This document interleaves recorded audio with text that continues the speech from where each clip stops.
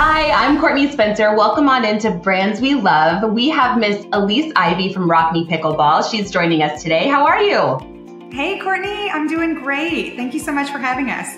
Could you just share a little bit of your background with products? It's not like you just came in and knew nothing about products. yeah, I knew a lot about products. You know, it's interesting. I was thinking um, everybody has a, a, life journey, and there's a lot of um, there's a lot of ways to look at your personal journey. And I think one of the things that I've done really well in life is is take you know different parts of my life and and choose um, the blessings that have come along the way from there, and kind of put them all together into this business because this is the first thing I think I've had that's been like mine, I say mine, but ours as a, as a family, right? I've always worked for, not always, but um, a lot of times I've worked for someone else. So this was working for ourselves, which was really nice. And one of the blessings that I had along the way was I did work at QVC and I was an on-air host there for six and a half years. And you know, it's interesting. You think that's a job where you're just going to go on air, you're going to learn that side of it, you're going to be in front of the camera, and that's that. But really, what happens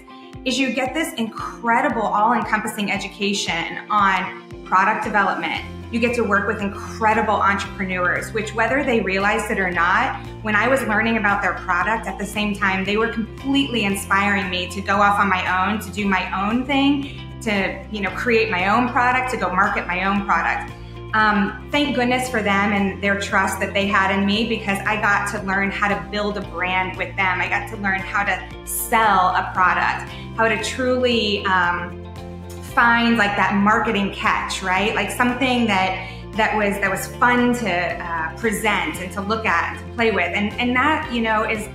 Um, something that was unexpected that came from working at QVC that I'm super, super grateful for today. And then in addition to that, I got to learn the social media side of things. So mm-hmm. how do you talk about a product? How do you market it? How do you show it on social? How do you even work these social media, you know, outlets? So that was just uh, again a really incredible experience. And then on the flip side of it, you have my brother who is an attorney by trade and a finance professional, and he loves to dive into a spreadsheet, something I know nothing about. So you put these two brains together, and you know it it works really, really well for us. I appreciate you taking the time and answering questions with us. We hope to do more business with you and see some new launches in the future. oh, yeah, lots coming down the pipeline. We're super excited about it. So, there's going to be a technology for everyone and hopefully an aesthetic for everyone as well. So hope you love it. Great. Thank you so much, Elise. Have a good one. Thanks, you too.